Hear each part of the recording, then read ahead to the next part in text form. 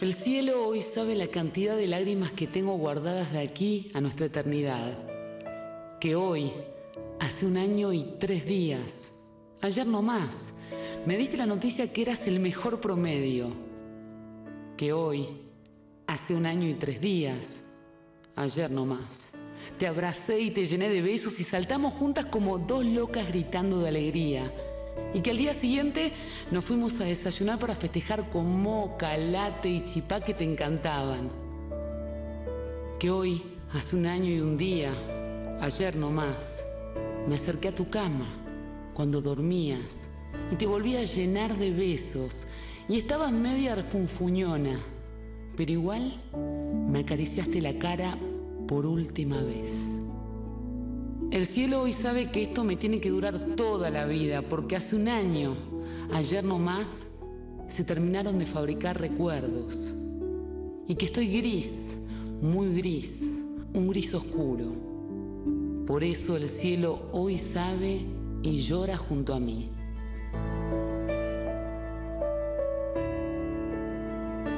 Jimena Aduriz, mamá de Ángeles Rawson, a un año del asesinato de su hija. Historia de un ángel llamado Ángeles. Mumi, como la llamaban sus amigos y su familia, pasaba casi inadvertida en el barrio de Palermo, donde vivía. Era introvertida, menudita y algo encorvada. Pero en las redes sociales se mostraba diferente. Se manejaba con fuerza, altura y con buen nivel intelectual, aún bajo su seudónimo de Sanji Kun, su personaje favorito de la serie animada One Piece. Sin saberlo, Ángeles dejó en un chat llamado Ask un diario íntimo de sus últimos ocho meses de vida. Varias preguntas rondaron sobre el sentido de la vida y la muerte, también sobre su futuro. Preguntas que después de su trágica muerte cobraron otro sentido. ¿Cómo vivir hasta los 120 años? Más que cómo, la pregunta sería ¿para qué? ¿Es posible justificar un asesinato? Solo si es por legítima defensa y no siempre tampoco. ¿Dónde crees que vivirás de aquí a cinco años? ¿Qué sé yo? Ni siquiera sé si voy a seguir viva. ¿Qué crees que nos pasa después de la muerte? Nuestra alma descansa en quién sabe dónde. ¿Cuál es el secreto de una vida feliz? No hay ningún secreto, solo haz lo que te haga feliz sin lastimar a nadie. Si pudieras vivir para siempre, ¿lo harías? No creo. Si pudieras legalizar una cosa, ¿cuál sería? La pena de muerte. ¿Qué tenés pensado para tus próximos tres años? Terminar el colegio, empezar una carrera y no morirme en lo posible. Como cualquier chica de su edad, vivía pendiente de las redes sociales.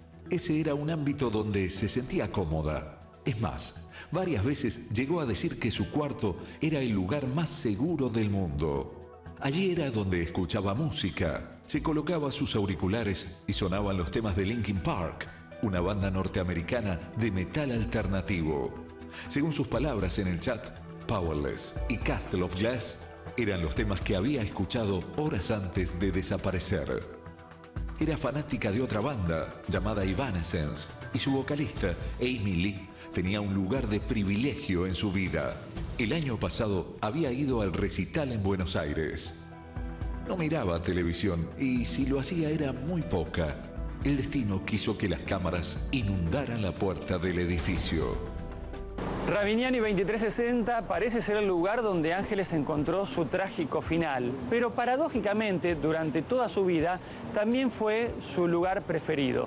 Consultada alguna vez por cuál era su lugar en el mundo, ella dijo, mi casa, mi pieza, mi cama. Ángeles nació en la ciudad de Buenos Aires el 23 de octubre de 1996. Su hermano sanguíneo se llama Juan Cruz. En el 2003, su madre, Jimena Aduris, se separa de Franklin Rawson. Ambos niños quedan viviendo con la mamá. Ángeles y Juan Cruz tienen un régimen de visitas para estar junto a su padre. En el año 2003 los papás de Ángeles se separan y ella obviamente con solo seis años se queda viviendo con su mamá.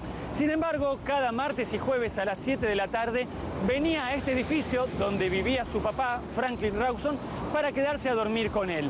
Pero el día preferido era el sábado, porque no solo se quedaba a dormir, sino que también se quedaba a pasar con él todo el domingo. Ángeles tuvo que convivir con la separación desde los seis años, pero también tuvo que acomodarse a las parejas de sus padres, a la nueva mujer de Franklin y a Sergio Opatovsky, el nuevo esposo de su madre. Ángeles tuvo que asimilar que su madre ya tenía otro hijo, anterior a Franklin, llamado Jerónimo, que tiene 25 años. Da mucha bronca saber que eh, le, puede, le pasa esto a una nena de 16 años, eh, aplicada sin problemas, eh, una vida re tranquila. Pese a tener una familia ensamblada, tuvo una infancia normal. Tomó la comunión y disfrutó de los juegos con sus hermanos. Mucho se habló de la relación de Ángeles con su madre. Sin embargo, todo hace suponer que fue hasta las últimas horas de su vida excelente. Era muy confidente. Todo se lo contaba, inclusive todo lo que era sexualidad. Había respeto, afecto, pero sobre todo amor. En la red social le preguntan a Mumi quién era su héroe cuando era chica. Ella no dudó. De pequeña no me acuerdo, sinceramente, pero ahora mi heroína es mi mamá. Admiro su fuerza de voluntad y la garra que le pone a todo. Y le estoy eternamente agradecida por todo lo que hizo y hace por mí y por mis hermanos. Confío en la justicia y sé que, que mi ángel eh, va desde la justicia divina va a velar por, por, por que se haga justicia. Y yo eh, quería transmitirles que yo estoy en paz. eh, estoy en paz. ¿Cómo están atravesando este terrible momento de la familia, unidos? Estamos en paz, estamos en paz y somos muy unidos, hay mucho amor. Fue una persona, una persona eh, que nos dio más, todas alegrías y así la vamos a recordar y, y algún día la veremos de nuevo. Sus hermanos es un capítulo aparte. ¿Qué es lo que más te han transmitido tus hermanos? Cariño, confianza y piñas. La verdad que tengo una muy buena relación con mis hermanos y estoy muy feliz por ello, porque los veo tanto como hermanos como como amigos. Con su hermano Juan Cruz tenía una relación especial. Él siempre fue muy cuida de su hermana. Tan especial era que una de sus mejores amigas era Gabriela, actual novia de Juan Cruz. Con él también compartían la pasión por el anime y los caballeros del zodíaco. Juan Cruz egresó del Colegio Virgen del Valle en 2012. Es por eso que en 2013 Mumi empezaba a ir sola al colegio. El colegio tiene especial importancia en la vida de Ángeles. Iba al Virgen del Valle desde el tercer grado de la primaria. Este es el Instituto Virgen del Valle en el barrio de Colegiales. A esta escuela concurría Ángeles desde tercer grado, como así también lo hacía uno de sus hermanos, Juan Cruz. Un colegio comparado a otros relativamente chico, pero aún en este pequeño universo Ángeles consiguió destacarse. Para todos, compañeros y personal docente, era una chica de buen carácter, afable, pero también se destacaba por su rendimiento, porque con nota de 9 era el mejor promedio de toda la escuela. Una de sus actividades favoritas era el cosplay. Es el uso de un disfraz que incluyen cómics, anime, manga u otros. En este juego, ella era Sanji, un personaje ficticio salido de la serie animada One Piece. Cada tanto, Mumi se disfrazaba e iba a uno de los lugares favoritos en la ciudad de Buenos Aires, donde se hacen encuentros entre los fans de este movimiento.